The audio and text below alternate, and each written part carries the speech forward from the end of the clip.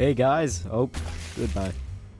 First thing you're gonna do is slow down the walk speed. I know that Doom 2016's walk speed is technically faster, but but you know what? Just shut up. Also, slightly slow down the demons. This could totally just be me, but I feel like 2016's demons were slower.